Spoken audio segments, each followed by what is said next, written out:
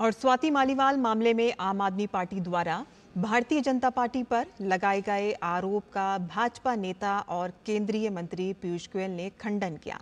उन्होंने आम आदमी पार्टी के संयोजक अरविंद केजरीवाल पर तंज कसते हुए कहा कि आपके इस प्रकार के आधारहीन आरोपों को कोई भी गंभीरता से नहीं लेता है। सीरियस हैं, जेल से कुछ दिनों के लिए बाहर आए थे। कैंपेन करने और देखिए किस प्रकार की हरकतें कर।